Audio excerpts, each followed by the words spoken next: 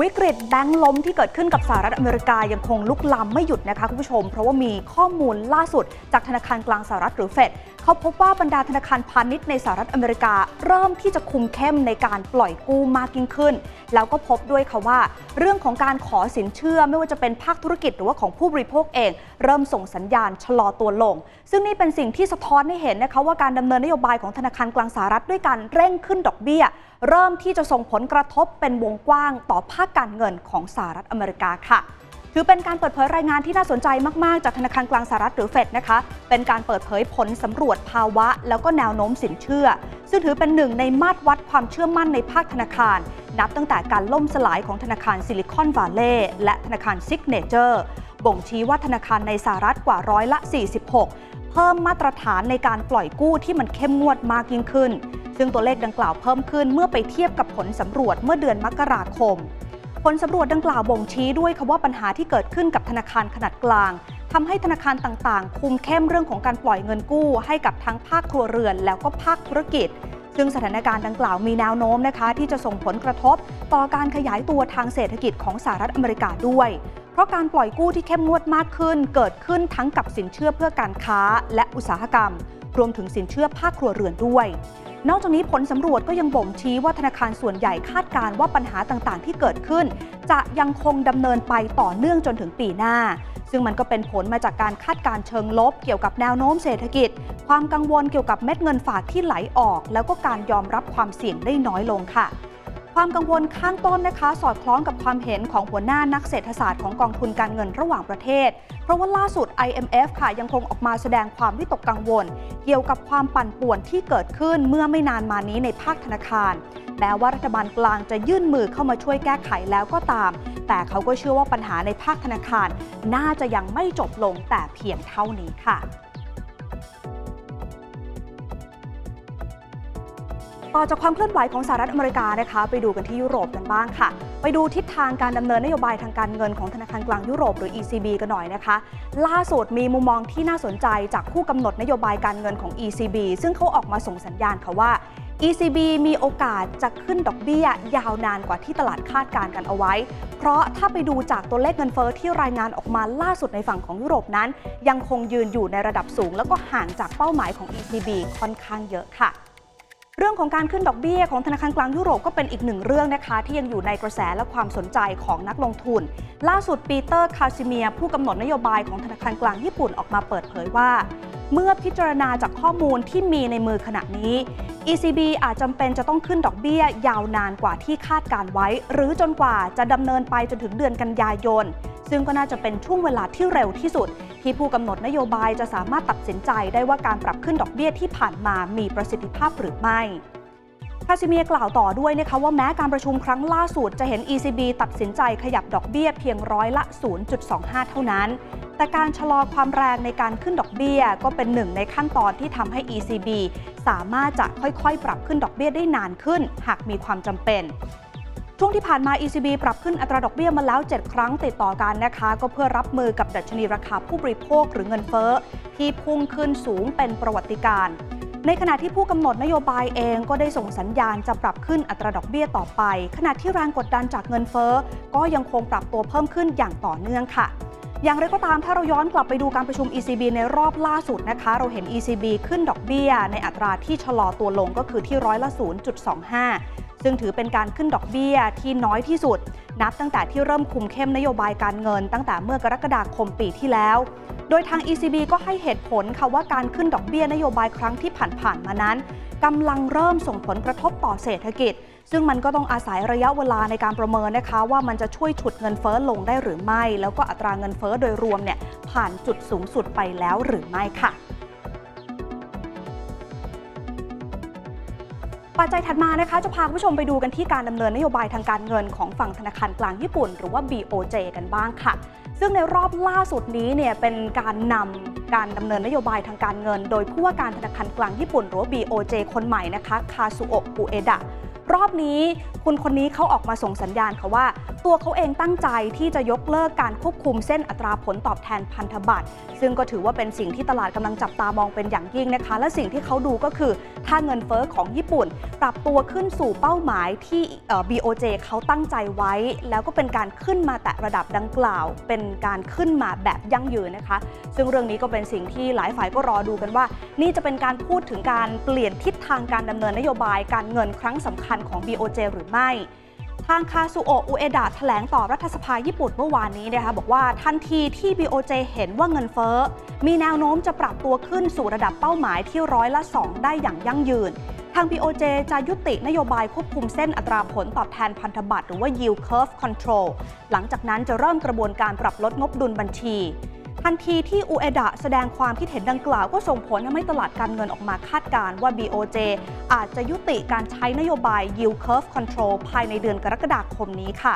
ซึ่งก็รวมไปถึงการคาดการณ์ของสถาบันการเงินชั้นนำของโลกด้วยนะคะ ไม่ว่าจะเป็น Goldman Sachs แล้วก็ Bank of America ที่คาดว่า BOJ จะยุติการใช้นโยบายดังกล่าวในช่วงเดือนกรกฎาคมเช่นเดียวกัน ถ้าเราย้อนกลับไปดูการประชุมนโยบายการเงินครั้งแรกของอูเอดะในฐานะผู้ว่าการ BOJ เมื่อปลายเมษายนที่ผ่านมาตอนนั้นเนี่ยคุณอูเอดะกล่าวเอาไว้ว่า อัตราเงินเฟอ้อของญี่ปุ่นปรับตัวดีขึ้น แต่ทาง BOJ ยังไม่สามารถระบุได้อย่างชัดเจนนะคะว่าเขาจะสามารถบรรลุเป้าหมายเงินเฟอ้อได้เมื่อไหร่ขณะเดียวกันคุณโอเอดะก็ย้ำมุมมองของเขาด้วยว่าอัตราเงินเฟอ้อในปัจจุบันของญี่ปุ่น ถูกผลักดันจากปัจจัยด้านต้นทุน แล้วก็มีแนวโน้มที่จะชะลอตัวลงในช่วงฤดูหนาวของปีนี้ค่ะ มาดูตัวอัตราผลตอบแทนพันธบัตร 10 ปีของรัฐบาลญี่ปุ่นกันหน่อยนะคะ ตอนนี้ถูกควบคุมโดย VOJ เขากำหนดกรอบอัตราผลตอบแทนเอาไว้ที่ติดลบร้อยละ 0.5 จนถึงร้อยละ 0.5 ซึ่งเป็นการขยับขึ้นจากเดิมที่อยู่ที่ติดลบร้อยละ 0.25 ถึงร้อยละ 0.25 เมื่อเดือนธันวาคมปีที่แล้ว ซึ่งการตัดสินใจในตอนนั้นเนี่ยตลาดก็มองว่า BOJ กำลังส่งสัญญาณในการยุติการใช้นโยบายการเงินแบบผ่อนคลายเป็นพิเศษหรือเปล่าค่ะ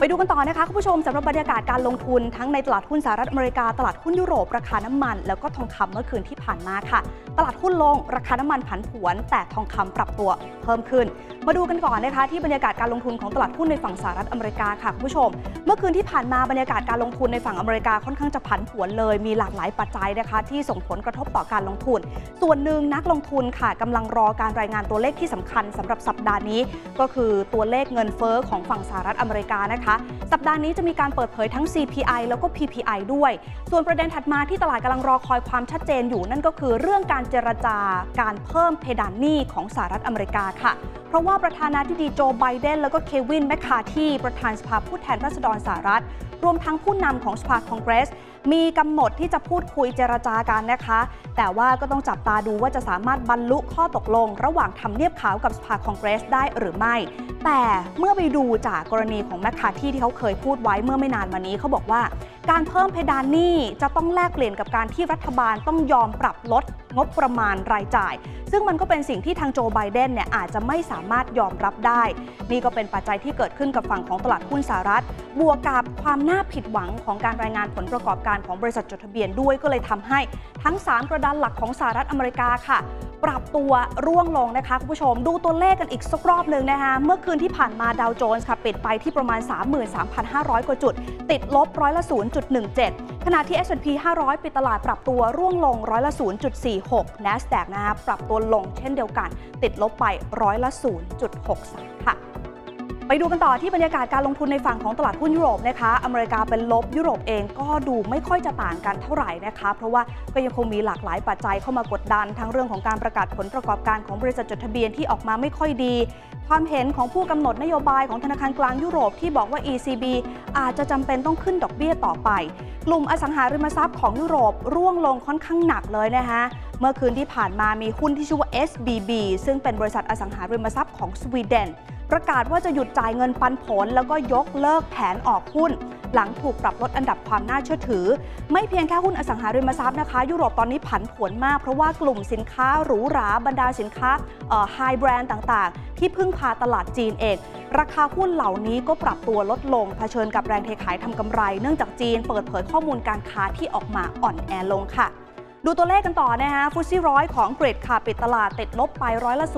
0.18 CAC 40 ตลาดหุ้นฝรั่งเศสติดลบร้อยละ 0.59 ขณะที่ดัชนีดัคตลาดหุ้นเยอรมนี ปรับตัวบวกเพิ่มขึ้นมาเล็กน้อยร้อยละ 0.02 ค่ะ ราคาน้ำมันดิบกันบ้างนะคะ เมื่อคืนที่ผ่านมาเป็นไปอย่างผันผวนค่ะ ช่วงแรกๆในตลาดถูกกดดันจากข้อมูลการค้าที่อ่อนแอของจีน แต่สุดท้ายราคาดีดกลับมาปิดบวกได้นะคะ หลังจากที่เจนนิเฟอร์แกรนโฮล์มรัฐมนตรีกระทรวงพลังงานของสหรัฐ ออกมาเปิดเผยว่ารัฐบาลสหรัฐจะเริ่มซื้อน้ำมันดิบ เพื่อเติมคลังสำรองทางยุทธศาสตร์ในช่วงปลายปีนอกจากนั้นตลาดก็ยังได้แรงหนุนจากการที่ EIA ระบุว่าอุปสงค์หรือความต้องการน้ำมันตามฤดูกาลมีแนวโน้มปรับตัวสูงขึ้น สัญญาน้ำมันดิบ WTI ส่งมอบเดือนมิถุนายนบวกก็จริง แต่ว่าก็อาจจะบวกได้ไม่ค่อยแรงเท่าไหร่นะคะ 55 เซนต์ต่อบาร์เรล ปิดเมื่อคืน 73 ดอลลาร์ 71 เซนต์ต่อบาร์เรล ขณะที่เบรนท์ขึ้นมา 43 เซนต์ต่อบาร์เรล ดูไบค่ะ ย่อตัวลงมาเล็กน้อยนะคะ ประมาณ 39 เซนต์ต่อบาร์เรลค่ะ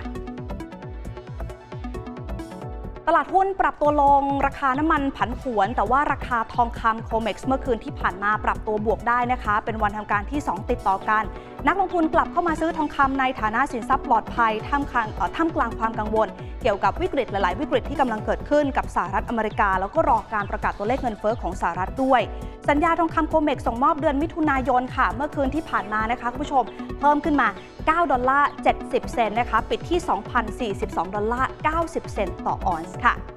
เราไปดูกันต่อที่บรรยากาศการลงทุนในตลาดหุ้นไทยหรือว่า SET Index กันหน่อยนะคะ สรุปภาพรวมเมื่อวานนี้มาฝากคุณผู้ชม ซึ่งบรรยากาศโดยรวมก็ถือว่าผันผวน แล้วก็เป็นการผันผวนในกรอบค่อนข้างแคบ ต่างจากวันก่อนหน้านี้ที่ปิดพุ่งขึ้นมาค่อนข้างแรงค่ะส่วนหนึ่งนักลงทุนก็อาจจะรอความชัดเจนจากปัจจัยในต่างประเทศนะคะ เพราะว่ามันก็มีหลายต่อหลายเรื่องที่กำลังเกิดขึ้น ทั้งการรอรายงานตัวเลขเงินเฟอ้อของสหรัฐอเมริกา รอความชัดเจนเรื่องของเดซิลลิงหรือการเพิ่มเพดานหนี้ของสหรัฐอเมริกา ตัวเลขเศรษฐกิจในหลาย ๆ ตัวที่ประกาศออกมาในฝั่งยุโรปก็อาจจะไม่ค่อยสดใส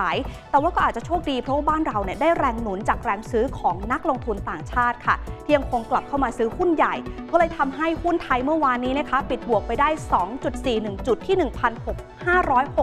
1,564จุด66 จุด มูลค่าการซื้อขายก็ถือว่าอยู่ในระดับที่โอเคนะคะ เมื่อวานนี้ 52,794 ล้านบาทโดยประมาณค่ะ ดูห้างดับหลักทรัพย์ที่ซื้อขายกันสูงที่สุดเมื่อวานนี้กันหน่อยนะคะเคแบงหรือธนาคารกสิกรไทย ราคาบวกขึ้นมาได้แรงเลยทีเดียวค่ะ มูลค่าการซื้อขายมาสูงสุดเป็นอันดับหนึ่งบวกไปร้อยละ 3.09 ปิดล่าสุด 133 บาท 50 สตางค์ AOT ย่อตัวลงมาเล็กน้อยนะคะร้อยละ 0.68 g a b l e เป็นหุ้นน้องใหม่ที่เพิ่งจะเข้ามาซื้อขายเมื่อวานเป็นวันแรกนะคะ ตอนช่วงเปิดตลาดเนี่ยบวกไปได้ แต่ว่าปิดตลาด ย่อตัวลงมาถือว่าแรงเลยค่ะ ติดลบไปร้อยละ 6.1 ปตทบวกได้ร้อยละ 1.61 ในขณะที่ SCB ไทยพาณิชย์ ปิดบวกไปได้ที่ร้อยละ 0.95 ค่ะ ไปดูกันต่อนะคะสำหรับบรรยากาศการลงทุนของตลาดหุ้นภูมิภาคเอเชีย เมื่อวานนี้จีนเปิดเผยตัวเลขเศรษฐกิจที่ออกมาไม่ค่อยจะดีเท่าไหร่นัก แล้วก็ช่วงนี้ตลาดก็รอความชัดเจนเรื่องตัวเลขเงินเฟ้อของฝั่งสหรัฐอเมริกาด้วย เอเชียเช้านี้ส่วนใหญ่ปรับตัวลงนะคะนี่คืออีกของญี่ปุ่นเช้านี้ย่อตัวประมาณร้อยละ 0.54หังเสงฮ่องกงทิ้งตัวลงมาร้อยละ 0.69 เซี่ยงไฮ้ Composite ตลาดหุ้นจีนติดลบร้อยละ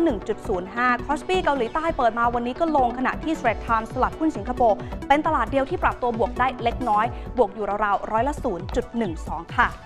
ขอบคุณที่ติดตามรับชมรายการ TNN ชั่วโมงทำเงินนะคะ คุณผู้ชมอย่าลืมกด subscribe กดกระดิ่ง กดไลค์กดแชร์ทุกแพลตฟอร์มออนไลน์ของ TNN ช่อง 16 ค่ะ จะได้ไม่พลาดรายการสดและคลิปวิดีโออื่น ๆ ที่น่าสนใจอีกมากมายเลยละค่ะ